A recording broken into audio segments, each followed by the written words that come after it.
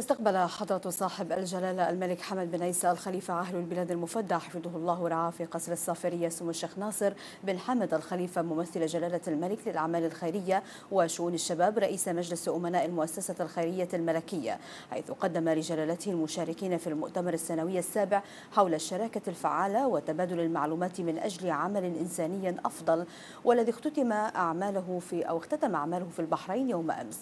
وأقيم تحت رعاية كريمة من جلالة الملك المفدى بالتعاون بين مكتب الأمم المتحدة لتنسيق الشؤون الإنسانية أوتشا والصناديق الإنسانية لمنظمة التعاون الإسلامي والمؤسسة الخيرية الملكية. وذلك بمشاركة أكثر من 250 شخصية تعمل في المجال الإنساني من مختلف المنظمات والمؤسسات الخيرية والإغاثية من مختلف دول العالم.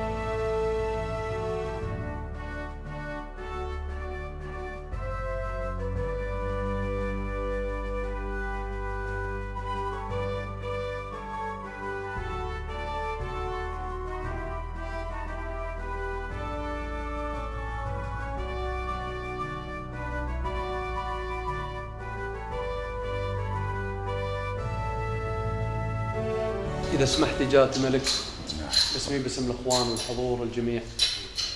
نتشرف الله يطول عمرك بالسلام عليكم وبمقابلتكم في هذا المكان العامر. الحقيقة طال عمرك كجميع أعضاء المؤسسة الخيرية نتشرف ومملكة البحرين ككل تتشرف بدعوة هؤلاء الخبرات ووجوه الخير الحمد لله. للقيام والتفكير والعمل سويا تجاه الخير. وتفعيل دور الخير والعطاء لكل من هو محتاج من الدول القادرة على المساعدة. والله الحمد يا جلالة الملك إن إحنا توصلنا في نهاية هذه هذه اللقاءات والمؤتمر إلى حلول وأفكار جديدة في فعالية الأدوار وسرعة إيصال المساعدات والطرق الجديدة المتبعة. لا الحمد طويل العمر. هالرجال خير من يمثل بلادهم وأتمنى من السيد أوبراين أنه يلقي بعض من الإيجاز البسيط بعد مؤتمر لكم صاحب الجلالة وهو رئيس منظمة الأوتشا في ال UN. ثم ألقى السيد ستيفن أوبراين وكيل الأمم المتحدة للشؤون الإنسانية ومنسق الإغاثة في حالة الطوارئ كلمة أعرب فيها عن سعادته باستقبال جلالة الملك المفدى له وللوفد وعبر عن شكره لهذه الفرصة ليتقدموا بالشكر لجلالة الملك المفدى على رعاية جلالته الكريمة للمؤتمر السابع للشراكة الفعالة من أجل عمل إنساني أفضل والضيافة الهائلة لكل المشاركين. ونقل السيد أوبراين إلى جلالة الملك المفدى تحيات الأمين العام الشخصية من نيويورك وقال السيد أوبراين إنها المرة الثانية التي يزور فيها البحرين منذ عام 1977 وأشار إلى أنه حظي بشرف لقاء صاحب العظمة الأمير الراحل الشيخ عيسى بن سلمان الخليفة طيب الله ثرى معربا عن اعتزازه بهذه الذكرى كما أكد أنه اكتسب أول خبرة عملية في حياته في البحرين حيث عمل عند السيد فاروق المؤيد. وأعرب السيد أوبراين عن شكره لدولة الكويت على استضافة المؤتمر في المرات الخمس السابقة مشيدا بمبادرة البحرين الأخذ على عاتقها هذه المسؤولية والضيافة بجدارة كبيرة. وقال السيد ستيفان أوبراين لقد كانت شراكة رائعة مع المؤسسة الخيرية الملكية وذلك بفضل توجيهات وجهود جلالتكم بالتعاون مع مكتب تنسيق الشؤون الإنسانية في الأمم المتحدة أوتشا ومع منظمة التعاون الإسلامية الإنسانية. وبهذا بهذا التعاون تم خلق حدث ناجح يحقق للبحرين يحق للبحرين أن تفخر به. وأشاد السيد أوبراين بنسبة الحضور العالية كان من بينها العديد من الشخصيات البارزة في المجال الإنساني كما أشاد بأهمية المواضيع التي تم مناقشتها والتي تعد استكمالا لما تم مناقشته في القمة العالمية للعمل الإنساني التي عقدت في مايو في إسطنبول. وأكد السيد أوبراين أن المؤتمر كان فرصة هامة تم من خلالها التركيز على أن لا يكون لمجرد تبادل الآراء والحوار فحسب بل لأن يقوم الذين تعاهدوا بالتزامات بالقيام بما تعاهدوا به لإظهار مثال جيد للعالم في مجال الشؤون الإنسانية وللأشخاص الأكثر احتياجا. في الختام أكد السيد أوبراين أنه بالرغم من التحديات التي قد تواجه المنطقة في الوقت الحالي إلا أن البحرين تمتلك الكثير من الفرص التي تؤسس فرصة لتكوين شراكة بفضل الرعاية الكريمة لجلالة الملك المفدى. وسيكون هناك شبكة للتواصل مع العديد من الأطراف المعنية في هذا المجال مبديا حرصه على أن يتم التعريف بالفرص المواتية لتعزيز الدعم الإنساني للجميع.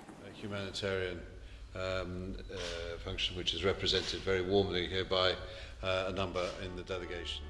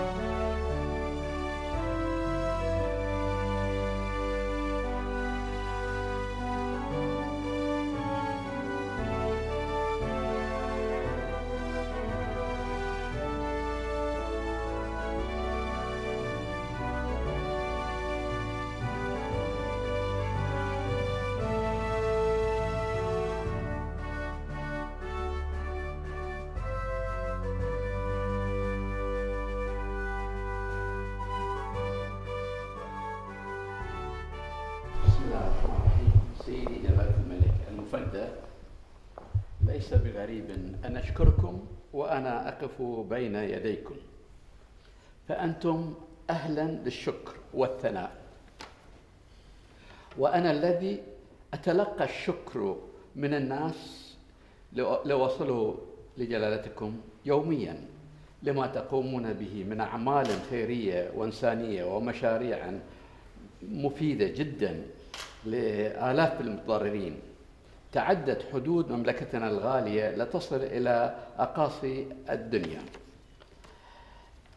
لا أريد أن أضيف على ما قاله داينامو العمل الخيري واللي عمل الخير في قلبه مثل ما وضحت لي طول العمر على سمو الشيخ ناصر ولا على كلام سيد أوبراين عن نجاح المؤتمر اللي كان فعلا مميز بتعاون الجميع نشكر كل المنظمين. طبعا آه، على رأسهم آه، رعايتك الكريمة آه، للمؤتمر. عدد المشاركين أكثر من المتوقع أوراق العمل أكثر من الرسمي. كانوا جايين ناس بأوراق بحقائبهم ودهم يساهمون. واجتماعات الجانبية مثل ما تفضل سيد إبراهيم وتشجيع من الجميع. اللي أمامك طول العمر. كل واحد تحته ملايين من الناس اللي يساعدهم ويدعمهم. كلهم مؤسسات كبيرة وجبارة. إن نجمعهم على أرض الخير هذا شيء رائع. بس إلا أريد أبغى أقول شيء طال عمرك. قبل خمس سنوات يوم بدأت الازمه السورية طلبتوا مني إن أروح إلى الأردن والحدود السورية لتقديم المساعدة. ورحت. يوم الاثنين رجعت ثلاثة قلت عملت اتفاق تذكرت الشيخ أحمد لشراء مواد مليون دولار للاجئين اللي كانوا يتدفقون أنا موجود على الحدود. يوم ما جيت قلت لا الأردنيين كرماء ما راح ينقصهم أكل بس أبغي مدارس. فحاولنا نقنعك أن المحل مو للمدارس على الحدود وفي البر فأصريت. رجعت يوم الخميس وأردت اعلن يوم الأحد نعم. في البرلمان. كان عندنا 48 ساعة أيمن المفلح موجود. اجتمعنا مع وزير التربية الأردني مع اليونسف مع المقاول. في 48 ساعة حسب توجيهات آه والموافقات الهاتفية مع سمو الشيخ ناصر في 48 ساعة وقعنا الاتفاقية. وبنينا أربع مدارس آه تحتضن الآن 9000 آه طالب. في 21 يوم. رقم قياسي بأي درجة. لا يمكن أن ننفذ هذا الشيء لولا رؤيتكم الحكيمة القوية. إلا الآن شفنا نتائجها. وملاك اللي راح تتكلم قصة نجاح وهي تمثل آلاف آه، الطلاب والطالبات اللي نجحوا في مدارسكم في الأردن. يدل على نظرتكم البعيدة. فأنا أعتذر لو أنا كان رأيي غير صحيح في البداية بس مقتنع إن لازم دائما آه، نتبع كلام ال boss. and your idea was a stroke of genius مثل ما يقول ستيفن أوبراين. thank you sir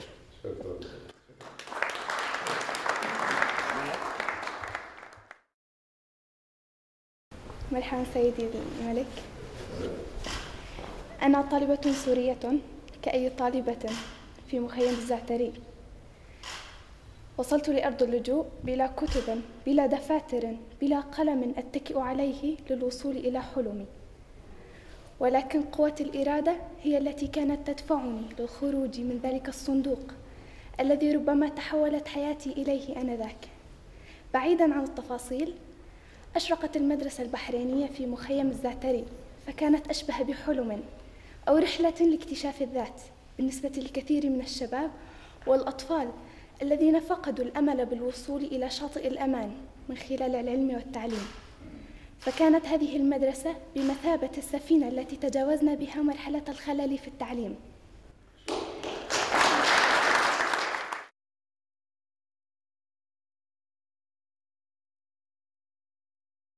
إحنا شاكرين لحضوركم معنا في بلدكم.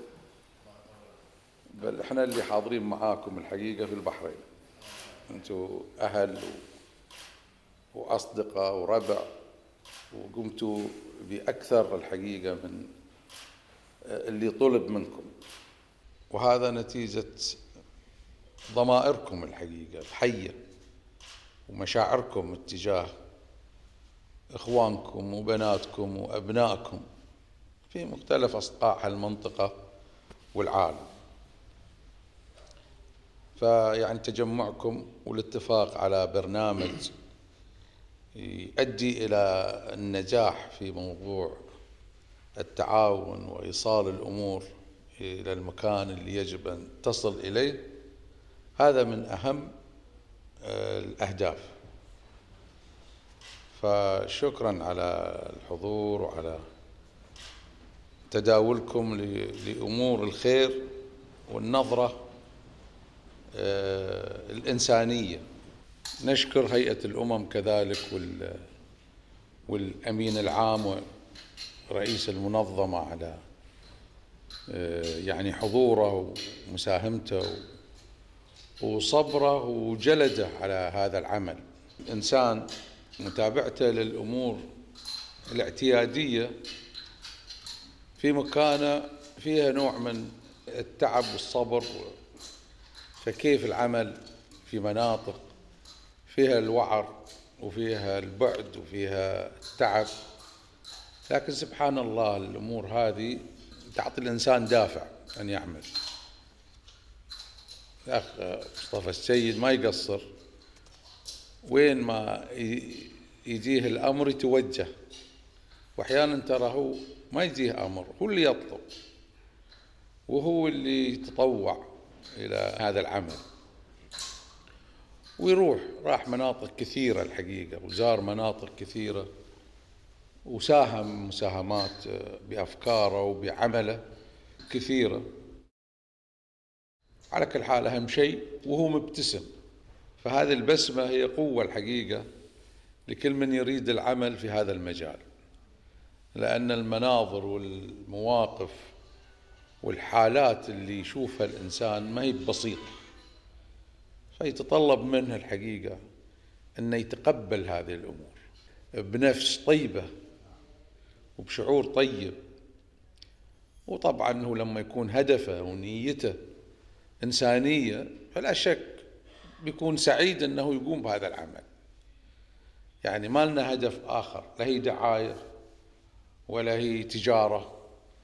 ولا هي أي شيء آخر بل هي خدمة لله ولأبنائنا والبناتنا اللي يعزون علينا على كل حال.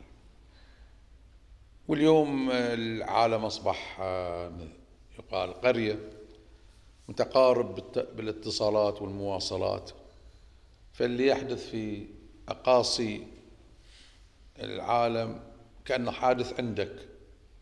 نسمع عن حوادث ومشاكل تحدث مثلا في آخر العالم نتألم من حدوثها لأن سمعنا عنها وشفناها.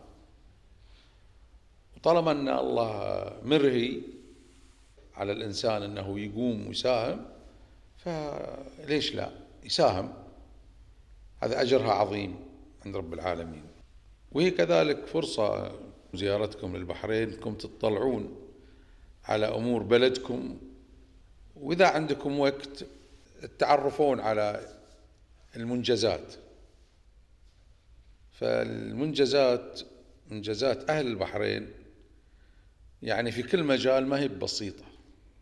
منجزات تدل على أعلى مستوى ممكن أن يكون في أي دولة متحضرة. والأساس والسبب هو التعليم.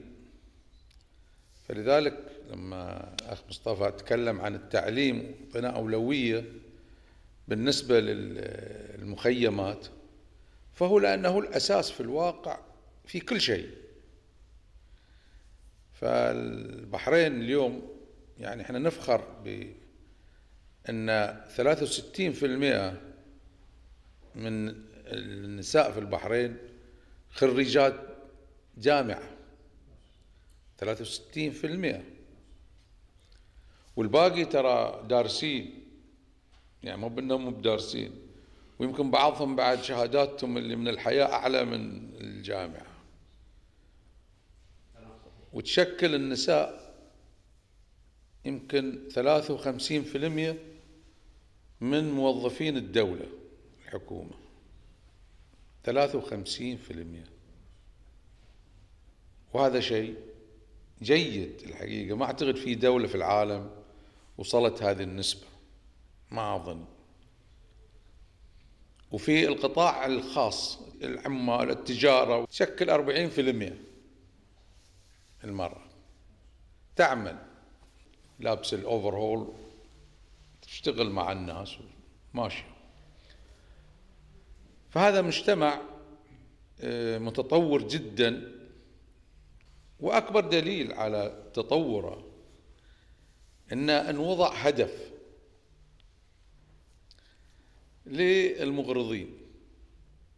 لأن المغرض ما أعتقد بيستهدف دولة فاشلة. أو هو يريد يفشل الدول. فلما يستهدف الدول الناجحة هذا أكبر دليل إن هي ناجحة.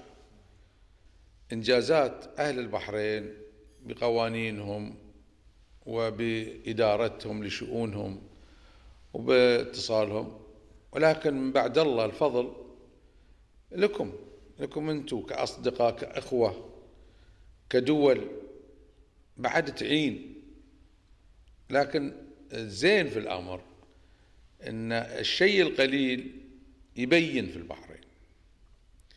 فإذا دعمت دعم معين في أي اتجاه سواء تجاري أو اقتصادي من الأشقاء أو غيره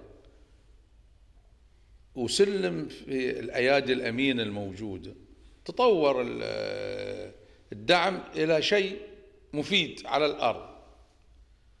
وهذا اللي يحدث في البحرين. يعني هذا يعني ما يضيع الشيء مع السيل. لا يثبت. الأساس مرة أخرى هو التعليم وأنا أعتقد مرة أخرى عن المرأة المرأة في الانتخابات. هي أكبر كتلة انتخابية في كل الانتخابات اللي مرينا فيها. طبعا ما كثير من النساء انتخبوا لكن اللي انتخبوا أكثر عدد نساء. يعني أعتقد 57% 57% من الكتلة الانتخابية نساء. والكتلة الانتخابية اللي في البحرين هي أكبر كتلة انتخابية في المنطقة. بما في إيران كنسبة. فيعني شو تسوي دولة ما تريد النجاح للبحرين؟ إلا أنها تحاول توقف النمو والتطور اللي حادث. مثلا البطالة. ثلاثة شوي يعني فاصل شوي في المئة. يعني هذا هي موجود يعني في ثلاثة. هذا الموجود من بطالة.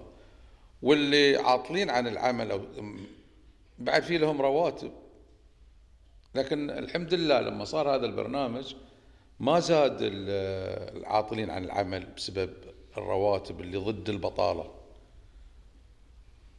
والنمو الاقتصادي اليوم من جهد الناس وليس. يعني يمكن أربعة بين أربعة وخمسة في المية. في أمريكا يحاولون نصف المية يزيدون أو واحد في المية. هذا النمو الاقتصادي. هذا مو بشغل حكومة. هذا كله مجتمع شراكة مجتمعية كلها اللي تتكلمون عنها. الشراكة المجتمعية ليست إنسانية فقط ولكنها العمل أساسا. إذا ردت على التكافل والمحبة والاحترام وذي العرب والله حتى أفقر الناس عندهم مبادئ وقيم أكبر من كل اللي يقولونه في العالم. لكن الشراكة في الخير الشراكة في النمو الشراكة في التطور هذا اللي صاير اليوم عندنا. والحمد لله الجميع توفق ك لأن الجميع مدعوين للمشاركة وليس مجموعة معينة الكل. يعني الرجل والمرأة والشاب والشابة وال والبحرين. التعايش اللي فيها والتسامح اللي فيها مشهود له. يعني من مئات السنين في الواقع. يعني مو بتو اليوم مو في وقتنا من قبل. لأنه البحرين يعني كانت تسمى ميناء العالم. هي كانت تربط ما بين حضارة الرافدين والسند. ويسمونها دلمن. والسفن والعالم والحضارات كلها تمر على هالموانئ. واللي يعجب المقام يجلس. ففي الواقع يعني مهاجرين المهاجرين وهذا من أسباب النجاح ولله الحمد. الهجرة مو من البحرين للخارج. الهجرة من الخارج للبحرين. يعني هذا اللي يحدث اليوم. فيمكن أنتم لاحظتوا هذا الشيء. كونكم مسؤولين عن لاجئين. البحريني يحب بلاده. والأجنبي اللي يعيش بين البحرين البحرينيين بعد يحبهم ويحب البحرين. فاليوم عندنا يعني وفي الخليج يعني اللي يدلك إن نسبة اللي هاجروا الأجانب في دول الخليج أكثر من الشعب نفسه. هذا دليل إنهم حابين المستوى الدولي اللي وصلت له منطقة الخليج. كيف لا تستهدف؟ والناس في مشاكل الله إن شاء الله يصلح الأمور. الموضوع على كل حال أنا أعتقد كخلاصة أن العمل الطيب والحسن هو اللي يهزم الشر ويهزم الأعمال السيئة الأخرى. وأحسن عمل ممكن يكون هو كل واحد منا يقوم بواجبه تجاه أخوه والإنسان اللي معاه في الخير ويصبر وإذا توفقنا في هذه أعتقد إحنا موفقين في أشياء مهمة جدا فشكرا مرة أخرى and thank you very much Mr. Thank you very much. My regards.